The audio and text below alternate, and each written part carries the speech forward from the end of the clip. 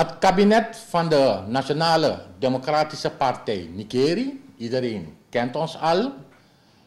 U weet dat wij laatst een interne verkiezing hebben gehouden van de NDP in Nikeri. Gekozen voorzitter thans is onze meneer Dalusing van de NDP Nikeri. Meneer Doekie is toen onze coördinator geworden van NDP Nikeri. Hij is tevens onze assembleelid. Laat mij u even terugbrengen naar het initiatief van meneer Doekie. Dat is een jaartje, anderhalve jaartje geleden. Heeft meneer Doekie het initiatief genomen om dus de Guyanese broeders en zusters van ons, die geen mogelijkheden hadden, door sociale of welke omstandigheden dan ook, om aanvraag te doen via het commissariaat om in aanmerking te komen voor de Surinaamse nationaliteit. En ik mag u zeggen, het is een grote groep. Een groep van, ik schat, 1500, maar we hebben maar ongeveer een, de helft binnen gekregen die zich hebben aangemeld bij NDP afdeling Nikeri. U kunt zich nog heugen. We waren bezig, meneer Dalusing en ik, namens het kabinet, om dus deze groep mensen een beetje te registreren. Andere kabinetsleden hebben ook uh, hulp, hulp gegeven waar nodig. Maar de coördinatie lag in handen van meneer Dalusing en mijn persoon. En laat mij een indicatie geven van onze doelgroepen.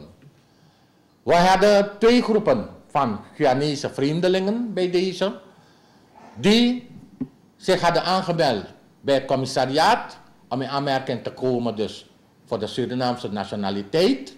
Dat betekent dat ze dus een strook in handen hebben gekregen als bewijsje. De tweede groep, Guyanese broeders en zusters, waren zij die vijf verblijfsvergunningen konden overleggen. Dat, ze dus met, dat is dus een bewijs dat ze dus langer dan vijf jaar en meer hier woonachtig zijn, legaal in Nikeri, Suriname bij deze. En wij hebben deze mensen geregistreerd. Wij hebben deze mensen dus volledig in onze administratie opgenomen om voor te dragen om zo snel als mogelijk de Surinaamse nationaliteit te krijgen. Dan praat ik over ongeveer anderhalve jaar geleden waren we begonnen. En nu is het tijd dat we deze mensen dus hun nationaliteit zo snel als mogelijk geven. Laat mij ook een indicatie geven dat tijdens aanwezigheid van de president Bouterse hier in de Kerry bij Hotel Regency, dat ook de president zijn woord heeft gegeven. Bij deze komt dus NDP, afdeling Nikeri, zijn woord na.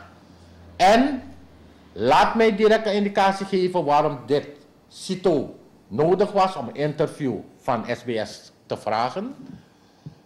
We hebben op zaterdag, 18 februari is dat, om 6 uur in het CCN Theater een meeting met deze mensen.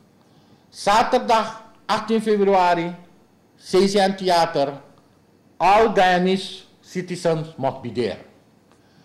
Het andere is dit, dat u begrijpt dat we ook een delegatie kregen van de DNA-leden uit Paramaribo, een delegatie van het ministerie van Justitie en Politie, een delegatie van Binnenlandse Zaken, onze districtscommissaris, nog huidige districtcommissaris DC Samsudin, gaat ook aanwezig zijn.